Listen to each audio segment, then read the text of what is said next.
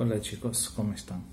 Estamos aquí para grabar nuestro devocional eh, en medio a ese caos y sin saber ¿no? lo que va a suceder en los próximos días, pero confiantes en lo que Dios quiere para nosotros, confiando que, confiando que Dios eh, nos llama a reflexionar y, a rever un par de cosas que, que quizás estamos debemos rever y, corregir.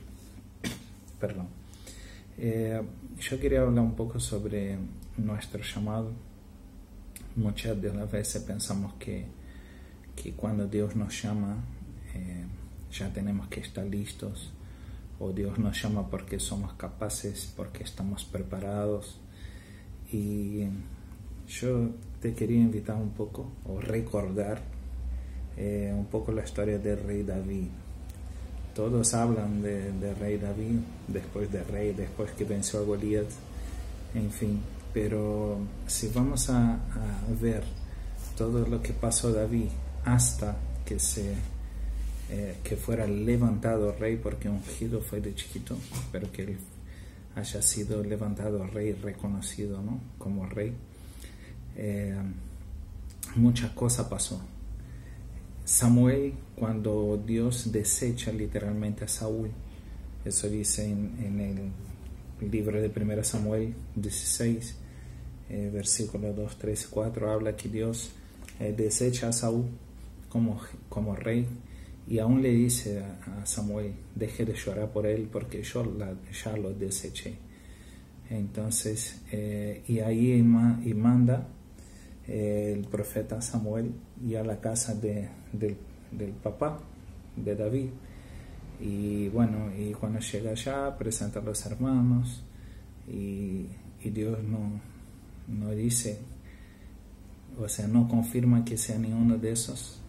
Y le pregunta, ¿no te falta nadie? Y bueno, y él dice, sí, yo tengo un hijo que es chiquito, que está pastoreando mis ovejas y dice, bueno, tráele al muchacho. Y cuando lo trae, Dios confirma que era ese y David fue ungido rey. ¿Y qué hizo David después de ser ungido rey? ¿Se fue al palacio? No, no. Regresó a cuidar las ovejas que ni de él era, era de su papá. Y regresa a pastorear las ovejas. Y el proceso de David hasta llegar al palacio fue largo. David tuvo que pelear con oso, con leones, para recuperar las ovejas de su papá y peleó. David estaba siendo entrenado también en el área de la música, porque David fue invitado ahí al, palacio eh, real para tocar su arpa, para ahuyentar los espíritus. Entonces David ya estaba siendo usado en ese momento y estaba siendo capacitado y preparado. Pero lo más interesante que me llama la atención de David es que él tenía todo muy claro. Él sabía quién lo había llamado y quién lo había ungido y que Dios tenía algo para él y confió en esa promesa. ¿Cómo podemos decir que él tenía completa seguridad en eso? Cuando David se va a enfrentar a Goliat, él estaba tan seguro que Dios tenía un propósito en su vida que él sabía que no había posibilidad que Goliat saliera vencedor. Porque para que Goliat venciera a David, o sea, Dios tendría que haber mentido. O sea, Dios lo, eh, ungió rey. Entonces, en toda pelea que él entraba, él iba a salir vencedor, porque si no, la palabra de Dios, no se iba a cumplir. Es esa es la inteligencia espiritual de David que me sorprende. Él sabía que iba a poder luchar con león, iba a salir vencedor. Él iba a luchar con un oso y no iba a sufrir daños, porque él primero se agarró de la palabra de Dios para su vida, que él iba a ser rey. Nosotros muchas de las veces nos eh, frenamos delante de las dificultades, de los peligros, nos frenamos pero ¿y dónde está nuestra confianza en lo que Dios prometió para nosotros?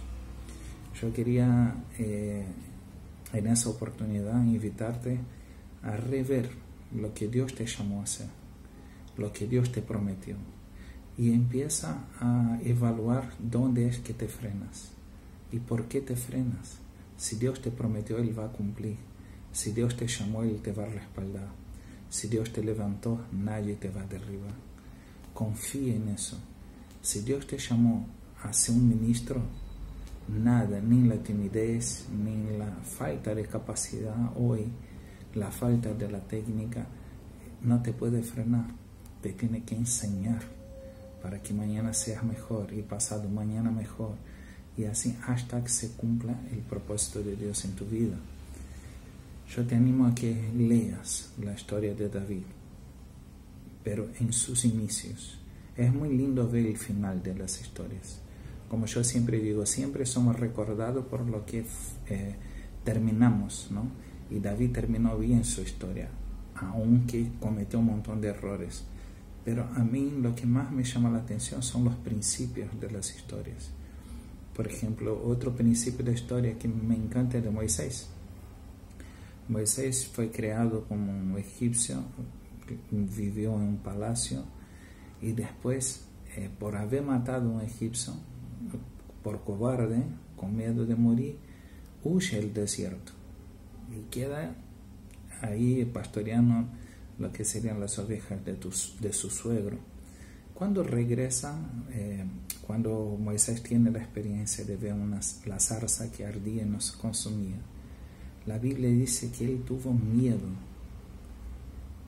Pero ese mismo Moisés, después de un tiempo y de las experiencias que vivió con Dios, era una persona que le decía a Dios, yo te quiero ver, no importa cómo, yo te quiero ver, yo te quiero ver face a face. Y Dios le dijo, pero no podés porque no, no, sobrevivir, no sobrevivirás.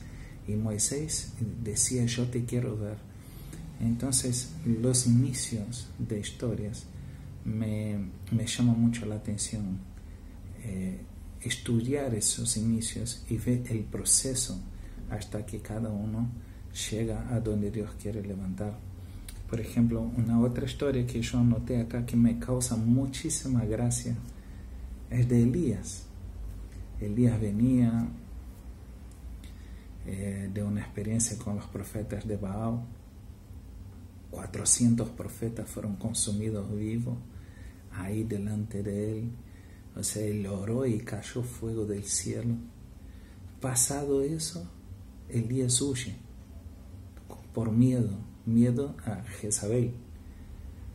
Y cuando él huye, se mete en una cueva o algún lugar, él estaba un día de distancia de, de donde sucedió todo eso y su oración a mí me parece graciosa porque él dice, Dios, quita de mí mi alma, quita de mi cuerpo mi alma. Algo así. Las palabras... No me acuerdo bien las palabras que se usó, pero quita de mi cuerpo mi alma. Si él quería morir, ¿por qué no se quedó allá y Jezabel le, le hacía el trabajo, no? Pero es interesante que eh, nosotros dejamos de confiar en la providencia de Dios. No importa lo que vivamos, no importa las experiencias que tenemos, siempre dejamos de confiar en, el propósito de Dios en la vida de cada uno de nosotros. ¿no? Y David entendió eso bien. Dijo, si Dios me llamó a ser rey, no puedo salir fracasado en nada, porque si no la palabra de Dios no se va a cumplir. Entonces que eso venga a latir hoy ¿no? en nuestra vida junto con nuestro corazón. Dios te llamó, confía y siga adelante. No te frenes, no te detengas, porque Dios es contigo y Dios va a respaldar la promesa que Él hizo para tu vida. Amén. Bueno, queridos, les dejo Muchas bendiciones. Nos estamos viendo pronto. Dios los bendiga.